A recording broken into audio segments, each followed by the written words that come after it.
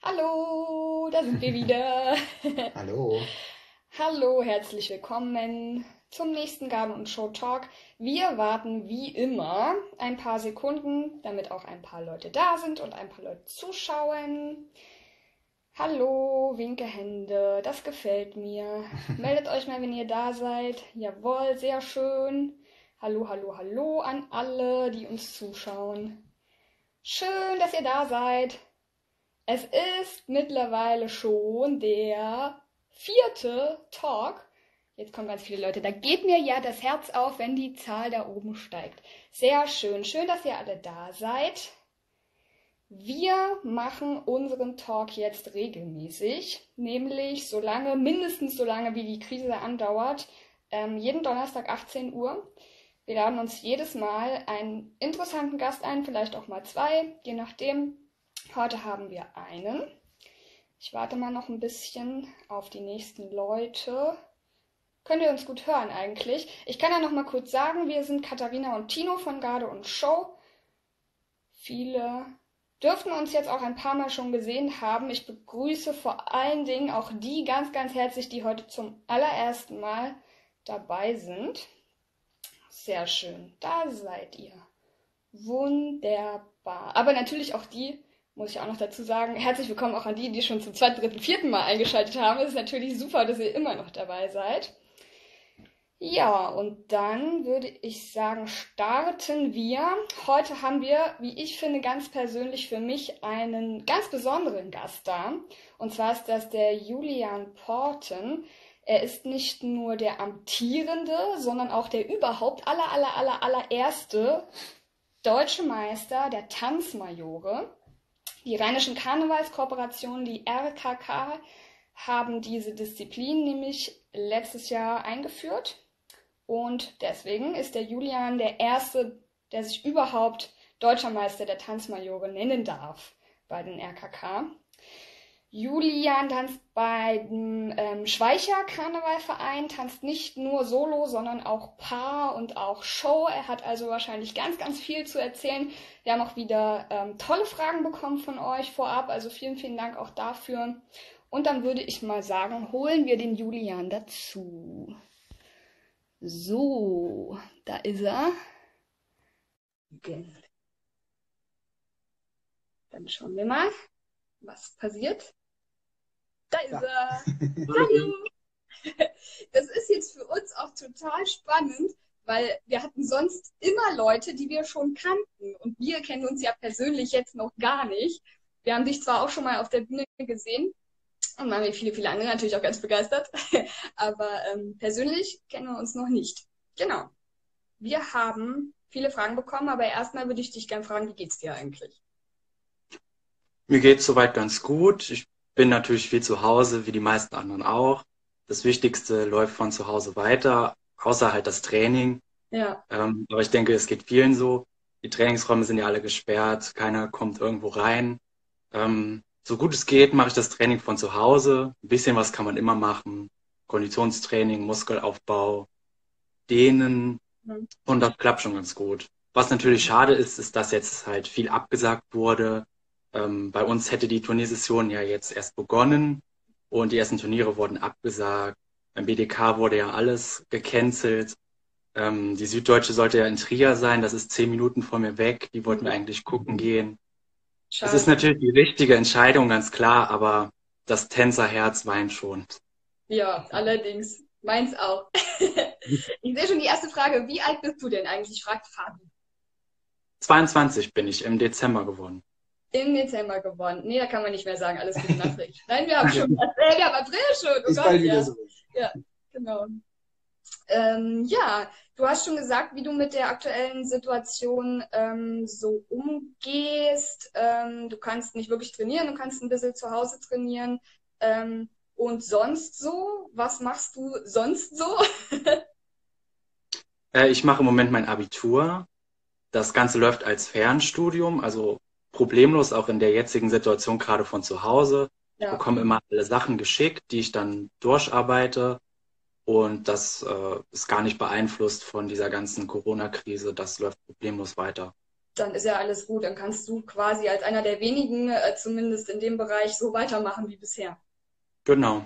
Perfekt. Sehr gut. Hier kommen Fragen rein. Dafür ist genau. der Tino zuständig übrigens. Ähm, muss ich nochmal sagen, vielleicht für die Leute, die zum ersten Mal zuschauen. Also äh, Tino ist dafür da, die Kommentare zu beobachten. Also ihr könnt wirklich ganz fleißig ähm, kommentieren und äh, Fragen reinschreiben. Der Tino wird es dann direkt äh, beobachten und weitergeben. Genau, es gibt schon mal zwei Fragen, die kann man ganz gut zusammenfassen. Wann hast du mit dem Tanzen angefangen und wie bist du zum Tanzen gekommen? Ähm, ich war ungefähr sechs Jahre alt und zum Tanzen bin ich gekommen über eine Freundin aus der Schule, die in dem Verein eben getanzt hat. Meine Eltern sind auch schon von äh, ihrer Jugendzeit in dem Verein und dann habe hab ich mir das irgendwann mal angeguckt in der Kindertanzgruppe, fand das ganz gut und bin seitdem dabei geblieben. Mhm. Klingt vernünftig, also ein ganz normaler Weg quasi. Dann irgendwann ähm, kam die Option, Paar zu tanzen. Ähm, und dann habe ich damit angefangen. Erstmal nicht auf Turnieren, sondern nur für Karneval halt. War da auch, ich glaube, acht Jahre alt.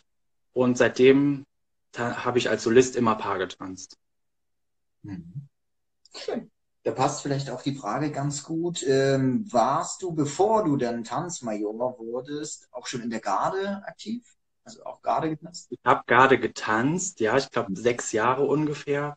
Aber als Tanzmajor ja erst seitdem das auf Turnieren geht. Also davor habe ich tatsächlich nie alleine auf der Bühne gestanden, sondern als Solist nur im Paartanz. Krass. Wie war das für dich, als du denn damit angefangen hast? Oh Gott, das würde ich mir ja ganz furchtbar aufregend vorstellen. Ja, sehr ungewohnt. Meine Nervosität geht vor jedem Auftritt komplett mit mir durch. Ich bin zu nichts zu gebrauchen bis jetzt habe ich mich auch noch nicht so ganz dran gewöhnt. Es ist ganz was anderes. Aber ähm, das ist es mir wert, auch wenn ich total aufgeregt bin. Es macht super Spaß. Schön. Und wie war es denn jetzt eigentlich, also erste deutsche Meisterschaft? Ähm, wie bist du da auf die Bühne gegangen? Also es war wahrscheinlich auch sehr aufregend. Ja, es war auch ein absolutes Highlight die ganze Zeit bei meiner bisherigen Tanzzeit. Ähm, es war eigentlich von Anfang auch gar nicht so geplant. Ich wusste zwar, dass es die Kategorie geben sollte, aber wir wollten eigentlich nur mit dem Paartanz auf Turniere gehen. Und ich dachte dann, okay, tanzt du mal Paartanz, guckst dir das mal an, so ein Jahr, wie ist das, wer kommt da hin, wie wird das bewertet. Und ähm, dann meinte aber eine von meinen Trainerinnen, warum machst du das nicht jetzt direkt? Mach's doch einfach, guck's dir mal an, ich stell dir einen Tanz, kein Problem. Dann habe ich kurz drüber nachgedacht, so ein paar Tage, und bin dann zu dem Entschluss gekommen, dass es eigentlich ja keinen Grund gibt zu warten. Dann wurde der Tanz relativ schnell gestellt, innerhalb von ein paar Wochen. Und ich hatte, glaube ich, sechs Wochen Training und dann war auch schon das erste Turnier. Ich habe mich nicht wirklich bereit gefühlt dafür. Bin dann aber auf die Bühne gegangen. es hat alles geklappt und äh, ja, war gut so es war ja dann am Ende auch äh, sehr erfolgreich. Bleibst du dann dabei nächste Saison, wenn sie da, also wahrscheinlich wird sie losgehen, ich gehe ganz, ganz stark davon aus, aber bleibst du dann auch dabei? Wenn sie losgeht, ja. Also mein Tanz steht schon fast. Ähm, auch da können wir im Moment nicht weitermachen. Aber wenn sie starten sollte, bin ich natürlich dabei. Schön. Mission Titelverteidigung. Genau. Hast du schon irgendwelche ja, anderen Eindrücke, wie das, wie sich die, eure Disziplin sozusagen entwickelt. Also ihr wart ja jetzt noch nicht ganz so viele, glaube ich, äh, die in der Disziplin getanzt haben, aber ist das zu erwarten, dass in der neuen Saison dann noch mehr dazukommen? Ja, ich denke schon. Ich habe schon von ein paar gehört, die jetzt auch anfangen wollen. So ganz so viele waren es ja nicht am Anfang, aber ich hoffe sehr, dass die Kategorie noch wächst und es wäre natürlich optimal, wenn im Endeffekt genauso viele Jungs tanzen würden, wie Mädels alleine auf der Bühne stehen. Ähm, aber ich habe, wie gesagt, schon von ein paar gehört, die jetzt anfangen wollen und ich würde es mir auf jeden Fall wünschen. Mhm. Ich meine, ihr hattet da ja auch so ein bisschen Vorreiterrolle, sage ich mal. Erstmal ein paar, die das irgendwie ausprobiert haben und die ähm, vielleicht auch gezeigt haben, dass es gar nicht so schlimm ist, vielleicht auch als äh, Mann oder als Junge, je nachdem wie alt man ist, alleine auf der Bühne zu stehen ja, von daher ähm, finde ich persönlich das zumindest ziemlich ähm, schön, dass ihr da so die Vorreiterrolle übernommen habt. ja, es war auch ein bisschen ähm, so eine Frage, wie, wie mache ich das Ganze? Weil wir hatten ja nichts, auf was wir zurückblicken konnten, quasi, woran wir uns orientieren konnten. Ich konnte nicht gucken, wie hat das jemand anderes letztes Jahr gemacht. Und ähm, man musste halt quasi so seinen eigenen Stil finden. Die Frage war halt auch, mache ich das jetzt wie so ein Tanzmariechen? Bin ich eher leichter, eleganter? Oder soll sich das schon ganz klar abgrenzen? Muss das mehr maskuliner sein, mehr strenger? Ähm, und da musste halt jeder so seinen eigenen Weg finden. Und da haben sich die Tänze auch schon unterschieden bei denen, die jetzt im ersten Jahr da waren. Und wie bist du es dann angegangen, sozusagen, um das mal, um das mal aufzulösen, äh, für die, die deinen Tanz dann nicht gesehen haben? Also ich würde meinen Tanzstil eher schon als leichter und eleganter beschreiben, aber ich habe versucht, das Ganze so zu mischen. Also schon, dass das auch im Kontrast zueinander steht, eher leichtere Parts und dann aber auch mit der Musik etwas, äh, wo die dann etwas dominanter wurde und man schon auch etwas, äh, wo stärkere Bewegungen dann auch drin waren. Du bist ja auch so ein bisschen Sprungkraftwunder, kann das sein? Ja, ich habe äh, schon ein bisschen Sprungkraft. Ähm, dafür trainiere ich auch einiges. Hm. Vielleicht können wir da gleich mal, ich sag mal, so eine Fachfrage in Anführungsstrichen stellen. Hast du denn Tipps fürs ähm, Sprungkrafttraining? Wie kommt man in so einen hohen äh, Sprungspagat rein? Da hatten wir auch Fragen bekommen, glaube ich, genau. Ähm, ja, also Frage ähm, Sprungkrafttraining, hast du da Tipps vielleicht für die Leute, die daran üben? Also der Schlüssel zum Sprungkraft, würde ich mal sagen, ist, sind ganz klar die Waden und die Sprunggelenke und allgemein die Beinmuskulatur, die halt schon ausgeprägt sein sollte. Da kann man viele Übungen für machen. Und ansonsten ist es halt wie bei jedem Element immer wieder wiederholen und wiederholen, auch wenn es anstrengend wird, immer weiter springen und ähm, so gut es geht auf der Spitze tanzen. Also sehr hoch tanzen, die Ferse sehr hoch, sehr weit abheben vom Boden ähm, damit diese Muskulatur einfach im Endeffekt die Sprungkraft dann hergibt. Hm. Ja, es nützt ja nichts, ne? Also um Sprungkraft zu trainieren, muss man halt springen.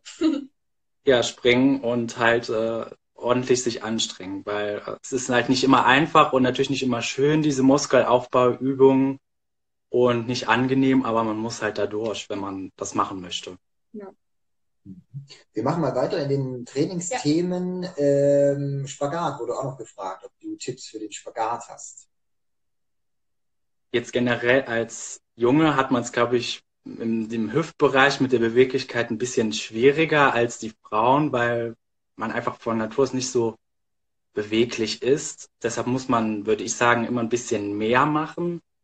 Ähm, aber da würde ich auch die ganz normalen Standardübungen machen, also Grätsche, Ablegen, ähm, Schmetterlingssitz und ich weiß nicht, ähm, ob man das unter dem Namen kennt. Wir nennen das Ausfallschritt. Ich kann es jetzt jetzt nicht vormachen. Wo man dann so nach unten dehnt wahrscheinlich, ne? Für den genau. Ja. Mhm. Also keine Geheimtipps quasi, einfach die. Ich ähm, habe keine Geheimtipps leider. es, ähm, dauert einfach seine Zeit kontinuierlich dehnen. Man kann immer dehnen beim Essen, beim Fernsehen gucken, beim Telefonieren, beim Lernen, beim Schlafen. Soll es auch Leute geben, die das machen. So. Ähm, regelmäßig dehnen und immer ein bisschen steigern und es dauert seine Zeit. Irgendwann kommt man dahin. Hm. Also Geheimtipp, dranbleiben. Ja. Da passt die Frage, dehnst du jeden Tag? Nein. Nein. Äh, nicht mehr. Früher, als ich kleiner war und mir die Beweglichkeit noch aufbauen musste, habe ich fast jeden Tag mich gedehnt. Mittlerweile nicht mehr. Ähm, das zieht sich jetzt so auf zwei, dreimal die Woche ganz normal im Training. Reicht ja auch, man braucht ja auch seine Pause. genau, Regenerationsphase ist auch immer wichtig. Mindestens einen Tag Pause sollte man, denke ich, in der Woche schon haben. Ja, genau. Also zumindest, wenn man jetzt nicht gerade ein äh, Trainingslager durchzieht, aber fürs normale Training auf jeden Fall, ja. Genau. Ähm, wie oft bist du im Training, fragt Tanja. Das hängt ganz davon ab, wo ich mich so in der Session befinde. Wenn es so am Anfang ist, ähm, habe ich generell einmal die Woche Solo-Training, einmal die Woche Gardetraining mit Showtanz und einmal die Woche Paartraining. Also so war es jetzt im letzten Jahr. Und wenn es dann sag ich mal, ernster wurde, zu den Landesmeisterschaften kam, deutsche Meisterschaft, da habe ich schon solo auch zwei, drei, manchmal sogar viermal die Woche trainiert. Ich habe es dann immer geteilt, ähm, also an ein paar Tagen speziell nur Akro gemacht mhm. und an ein paar Tagen dann nur Tanz und Kondition. Aber das kommt immer drauf an, wo wir halt gerade dran sind. Mhm. Okay, dann kann man vielleicht nochmal erklären für die Leute, die sich nicht so bei den RKK auskennen, wie läuft da die Saison ab? Landesmeisterschaften bis hin zur deutschen Meisterschaft, wie ist das? Also man startet ganz normal mit Qualifikationsturnieren. Dann kommt es auf die Altersklasse an, wie viele Punkte man da braucht. Bei mir sind es jetzt 43, die ich auf zwei Turnieren tanzen muss, damit ich mich für die Landesmeisterschaften qualifiziere. Und dann muss ich auf einer Landesmeisterschaft unter den ersten vier sein, um mich für die deutsche Meisterschaft zu qualifizieren. Also man tanzt mindestens vier Turniere, kann natürlich auch mehr werden, je nachdem, wie man es möchte. Mhm. Genau, also es gibt auch so ein dreistufiges ähm, Qualifikationssystem, ein kleines bisschen anders als jetzt zum Beispiel beim BDK aber schon auch so dreistufig, wie es ähm, BDK-Tänzer zum Beispiel auch kennen. Ich muss noch mal was kurz dazwischen äh, schieben. 43 Punkte. Ähm, beim RKK fehlt die Null quasi dahinter. Das heißt, ähm, 50,0 ist äh, die höchste Punktzahl. Genau. man vielleicht dazu auch noch mal sagen, wer sich da jetzt nicht so gut auskennt. genau. Wenn denn die Saison dann äh, planmäßig anläuft, äh, Deutsche Meisterschaft ist dann, glaube ich, November geplant. Also Ende November, Anfang Dezember war es ja die, war es ja beim letzten Jahr. Mhm. Genau. Okay. Dann gibt es noch die Frage, wie kann ich beim Flickflack nicht mit den Armen einknicken? Oh Gott, das ist ja die absolute Fachfrage. das ist die absolute Fachfrage und da bin ich auch, glaube ich, der Falsche für, weil Flickflack werde ich tatsächlich jetzt erst lernen. Ich habe mhm. ähm, beim Flickflack noch nicht viel Erfahrung wollten das jetzt eigentlich angehen, ist leider ins Wasser gefallen, äh, weil im Moment, wie gesagt, kein Training ist. Dafür habe ich leider jetzt nicht den ultimativen Tipp. Alles gut, ich kann auch keinen Flickflack. Also von daher, ich denke mal so äh, Akrobatik-Sachen ist ohnehin schwierig zu erklären. Aber wir haben noch eine andere Frage ähm, und zwar, ähm, wie du Handstand gelernt hast und ähm, ob du Tipps hast, wie man den Handstand auch halten kann. Also wie trainierst du das? Ähm, da ist die Schultermuskulatur super wichtig. Also man sollte sich da komplett halten können. Ähm, wichtig ist, viele setzen die Hände, wenn sie in den Handstand gehen, sehr weit nach vorne. Mhm. Die Hände müssen aber tatsächlich quasi genau unter die Schultern gesetzt werden und dann Körperspannung, Bauchspannung und es ist alles auch eine Übungssache. Man lernt ja quasi stehen und laufen, nur eben nicht auf seinen Füßen, sondern auf den Händen. Und das dauert schon extrem lange, bis man einen Handstand alleine stehen kann, laufen kann, damit sich drehen kann. Das ist eine Gleichgewichtssache. Mhm. Körperspannung ist aber immer hilfreich bei allem. Ja. Wie bist du da ähm, vorgegangen, als du einen Handstand gelernt hast? Also hast du das irgendwie schon als Kind spielerisch gelernt oder erst später, keine Ahnung, mit an die Wand schwingen oder so? Wie bist du da reingegangen, überhaupt von der Herangehensweise? Also Wand ist erstmal hilfreich, um dieses Gefühl zu kriegen, wie ist das, wenn ich auf meinen Händen stehe? Weil man muss sich halten können. Wenn man sich nicht halten kann, braucht man das nächste eigentlich nicht zu üben. Ähm, und dann kann man halt versuchen, immer ein Stück Abstand von der Wand zu nehmen und diesen Handstand frei zu machen, dass quasi die Wand nur da ist, wenn man jetzt fallen würde, damit man dann trotzdem noch stehen bleiben kann. Mhm. Okay, vielleicht waren da ja ein paar äh, Tipps dabei für Menschen, die auch gerne äh, besser werden wollen. Im Handstand auf jeden Fall wie immer einfach dranbleiben. Das hilft. genau. Es war auch noch die Frage, wie man sich ähm, einfach überwinden kann. Halt, weil, gerade bei so Akrobatik-Elementen, äh, da kommt es ja auch drauf an, naja, Vertrauen zu haben, wahrscheinlich. Wenn du jetzt den Flickflack dann irgendwann lernst, äh, wie gehst du da dran? Wahrscheinlich mit guter Betreuung vom Trainer, von der Trainerin. Genau, also ich muss zugeben, ich habe auch so eine kleine Rückwärtsphobie.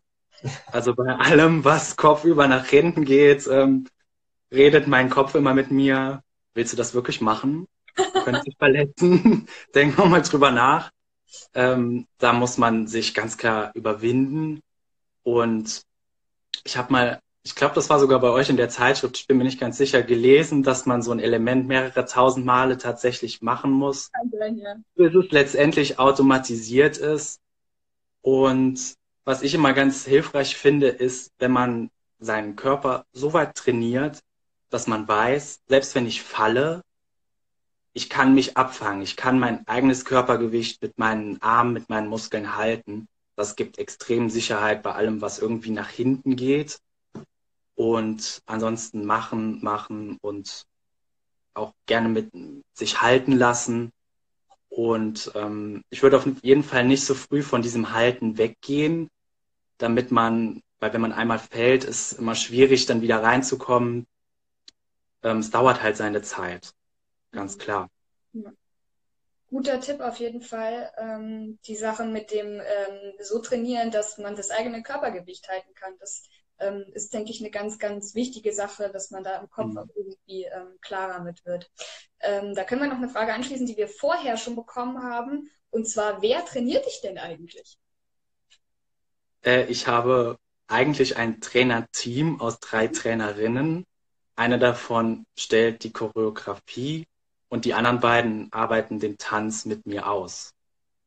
Okay, Das also sind, ähm, also zwei davon sind bei uns im Verein und eine ist aus einem befreundeten Verein. schön, man hilft sich. Genau. Sehr gut. Dann kommt gerade noch die Frage, wie sehen bei euch die Kostüme aus? Oder fangen wir mal bei deinem an. Äh, hast du da spezielle Vorlieben?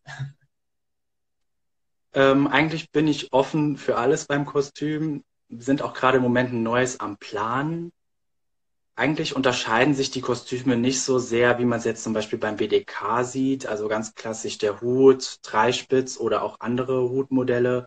Und ansonsten sehr leicht, sehr flexibel. Ich hatte jetzt ähm, in meinem aktuellen Kostüm eine Pumphose an, also auch mit so Strumpfhose drunter. Und das ist bei unserem Verband eigentlich nichts, äh, was sich jetzt stark unterscheidet vom BDK zum Beispiel. Hm. Ihr seht äh, eigentlich auch aus wie normal, wenn ihr als ähm, Paartänzer auf die Bühne geht, ne? Genau, ja. ja. Genau, kann man so sagen.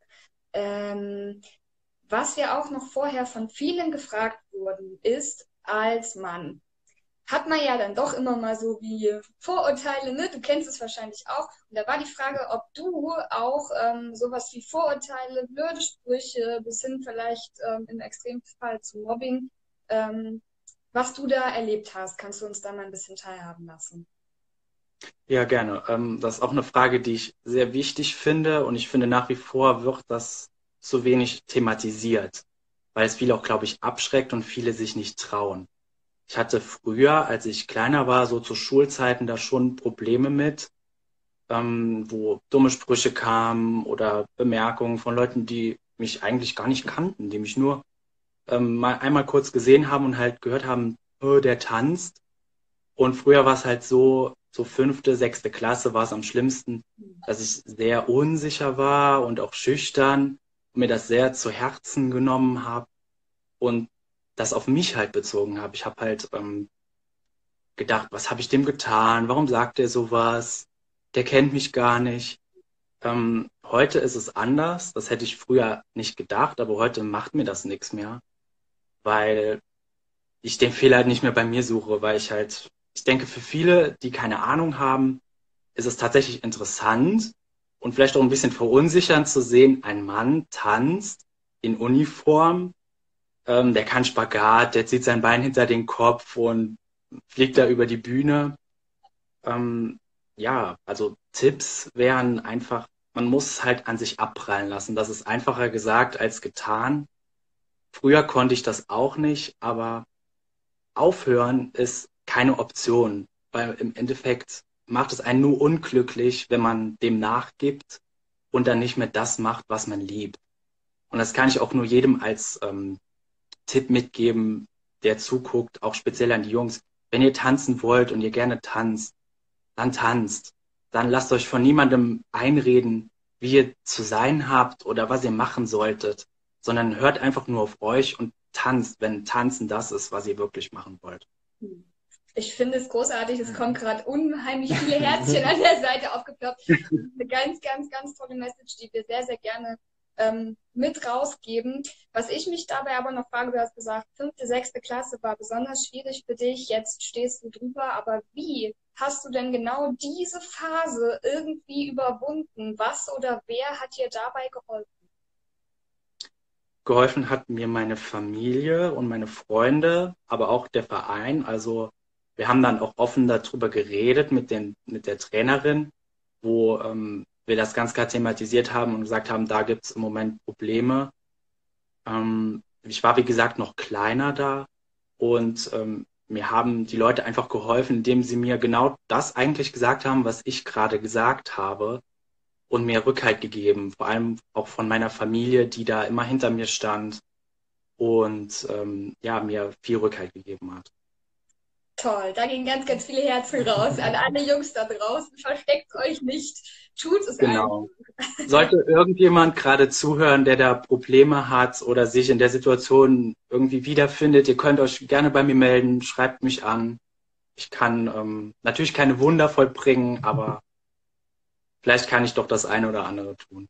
Sehr schön. Ich meine, du bist ja wahrscheinlich auch jetzt für ein paar Jüngere ähm, auch ein Vorbild geworden als deutscher Meister ganz klar. Und da finde ich es großartig, dass du äh, dieser Rolle dann auch gerecht wirst. Vielen, vielen, vielen Dank dafür.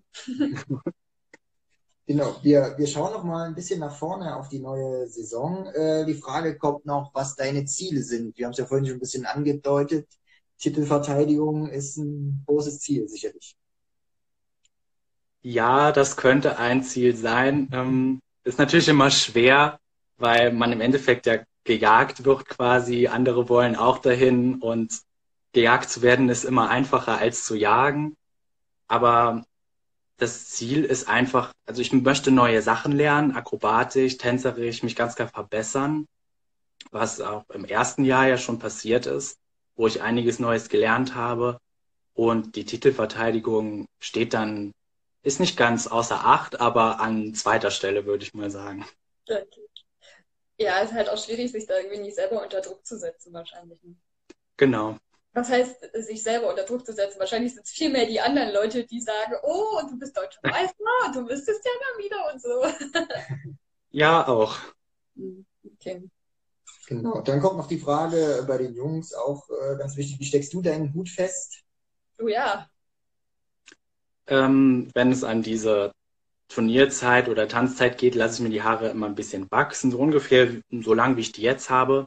Mhm. Ähm, und dann werden Nadeln an der Seite ins Hutband gesteckt. Und unsere Hüte kann man, ich habe einen Dreispitz, aufklappen. Und dann sind oben Löcher an diesem Hut, ähm, wo dann auch Nadeln reingesteckt werden, die dann an den Haaren halten. Ich brauche sehr viele Nadeln. Ähm, eine Packung, zwei ungefähr kann jetzt nicht genau sagen, wie viele drin sind, aber bestimmt so 50, 60 Stück, die in meinem Hut sind, damit das Ganze auch ordentlich hält. Das ist ja furchtbar. Ist er dir schon mal abgefallen oder hilft die Methode? Nein, tatsächlich nicht. Oh wow. Ist mir ja. abgefallen. Viel hilft viel in dem Fall. Aber Kopfschmerzen gehören dazu. Ja, kenne ich gut. Ich bin da auch sehr empfindlich, was das Ganze angeht. Viele Grüße an die Hutfeststeckerinnen da draußen. ja. Genau, ich habe auch immer so meine Leute, die mir dann den Hut feststecken, die dann um mich rumstehen und dann mir die Nadeln da reinhauen. Ohne ähm, Rücksicht auf Schmerzen. So muss es sein. Diesen Job haben sie ja schließlich auch. genau. Dann machen wir noch, wie viele Konkurrenten gibt es denn eigentlich bei den Tanzmajoren? Also wie viele haben letztes Jahr in der Turniersaison, waren da überhaupt dabei? Also es waren jetzt im ersten Jahr tatsächlich nur fünf. Mhm. Und ich hoffe, wie gesagt, dass es noch mehr werden, damit das Ganze noch wächst und auch interessanter noch wird. Mhm. Was haben wir noch? Kam noch was? Wie der Verein heißt, das haben wir schon geklärt. Schweicher Karnevalverein, richtig? Genau. genau. In der Nähe von Trier, das habe ich mir gemerkt vom Anfang. Ich glaube, die Frage müssen wir noch machen. Eine Userin hat noch gefragt, ähm, die dich schon mehrmals tanzen gesehen hat, wie du so eine krasse Ausstrahlung hinbekommst. Ähm, Ausstrahlung ist so ein Thema für sich. Also ich denke, dass da trägt man einfach was nach außen, was man fühlt. Und wenn es Spaß macht und man merkt, man kann Leute damit erreichen, dann kommt diese Ausstrahlung von selbst. Wichtig ist auch immer die Kondition, dass man natürlich nicht da steht und halb erstickt und man einem das dann im Gesicht ansieht, sondern dass es einen schönen leichten Blick gibt. Aber im Endeffekt lache ich einfach, weil es mir Spaß macht und weil es ähm, ein tolles Gefühl ist, auf der Bühne zu stehen und ich das nach außen trage. Mhm. Hast du das auch irgendwie so vom Spiegel, es klingt jetzt bescheuert, aber hast du das so vom Spiegel auch so geübt oder kommt das einfach aus dir raus? Ich habe das auch teilweise vom Spiegel geübt. Nicht allzu viel, weil sonst sieht es zu einstudiert aus. Aber man kann sich natürlich ganz alleine vor den Spiegel stellen und mal gucken, wie sieht das aus, wenn ich lache. Sieht das natürlich aus oder sieht das eher gekünstelt aus, weil man muss ja quasi schon auf Knopfdruck dann mhm. anfangen zu strahlen. Vom Spiegel habe ich das auch geübt, ja. Ähm, was hatten wir noch? Ach ja, das fand ich auch noch total interessant. Es hatte jemand vorab gefragt, ähm, wenn es denn im BDK diese Disziplin ähm, gäbe, beziehungsweise die wird ja jetzt auch ähm, wohl eingeführt, würdest du dann auch BDK tanzen oder würdest du ähm, auf jeden Fall sagen, ich bleibe jetzt bei äh, den RKK? Das ist eine gute Frage, ähm, die ich eigentlich gar nicht so spontan beantworten kann. Ich würde es nicht komplett verneinen, aber es ist schon eine andere Sache, dann nochmal in dem Verband zu tanzen. Und man kann ja tatsächlich, soweit ich weiß, nur in einem tanzen. Also ich kann nicht RKK und BDK gleichzeitig tanzen. Ähm, ich würde es mir auf jeden Fall überlegen, aber direkt jetzt Ja oder Nein sagen kann ich dann nicht. Genau, also du kannst, ähm, soweit ich das weiß, kannst du zwar rein theoretisch äh, an Qualiturnieren äh, teilnehmen, wo du möchtest, in welchem Verband du möchtest, aber du kannst dich dann ähm, nicht für die deutsche Meisterschaft qualifizieren. Das ähm, ist dann eben so das Kleine. Man kann dir ja keiner verbieten, an welchen Qualiturnieren du teilnimmst, aber die Qualifikation ist dann eben nicht möglich. Genau. Mhm. Ja, ähm, es ist schon ganz schön spät ja. geworden. Die Leute hatten unfassbar viele Fragen. Ähm, vielleicht noch die letzte Sache, die wir noch nicht geklärt haben. Hattest du schon mal irgendwie schlimmere Verletzungen? Tatsächlich nicht. Also ich tanze jetzt 15, 16 Jahre und das Schlimmste, was ich hatte, war, dass ich mit dem linken Fuß umgeknickt bin, zweimal. Das ist soweit wieder gut. Und das, also schlimmere Sachen hatte ich noch nie. Ich hatte noch nie irgendwas gebrochen oder verstaucht oder, ne. Sehr gut, dann toi toi toi, dass es genau. so bleibt. genau. Danke. Gut, dann würde ich sagen, vielen, vielen Dank für deine Zeit. Es ist jetzt doch ein kleines bisschen länger geworden. Ähm, ja, wie gesagt, nochmal vielen Dank auch für die Message, die du ähm, losgeworden bist. Und dann wünschen wir dir und uns allen, dass die RKK-Saison dann auch bald ähm, losgehen kann. Und ähm, ja, alles äh, Gute, viel Erfolg für die kommende Saison. Vielen Dank. Danke, tschüss. Mach's gut. Tschüss. So. So, ihr lieben Menschen, wir haben noch etwas, und zwar wollten wir euch verraten, wer der Dozent am Sonntag ist. Ähm, Click to Dance heißt ja unsere große Aktion mit Dancefit zusammen. Da machen wir die Talks ähm, am Donnerstag. Da machen wir die Workouts jetzt ganz neu am Dienstag, wo ihr euch einfach ähm, quasi mit ins Wohnzimmer stellen könnt und einfach mitmachen könnt, so ein bisschen als ja, Trainingsersatz und halt einfach um was zu tun, um dran zu bleiben. Und dann am Sonntag die großen, großen Workshops mit einem ähm, Dozenten äh, und hinterher Talk. Also wir werden es dieses Mal so machen, dass ihr schön mitmachen könnt ähm, und dass wir eure Fragen hinterher klären, damit ihr nicht zwischendurch ans Handy gehen müsst und irgendwie Fragen stellen müsst. So, und jetzt sage ich euch auch, wer der Dozent am Sonntag ist. Und zwar ist das der Fritz, Fritz Werner. Viele von euch dürften ihn kennen. Er ist ein begnadeter Schautanztrainer ähm, gewesen, hat ganz, ganz tolle Schautänze gemacht. Ähm, genau. Und dann freuen wir uns auf jeden Fall, wenn ihr da wieder dabei seid. Tschüss. Bis dann. Bis dann. Wir freuen uns, wenn ihr auch beim nächsten Tag wieder einschaltet. Nächsten Donnerstag, 18 Uhr, sind wir wieder für euch da. Bis dahin eine gute Zeit. Tschüss. Tschüss.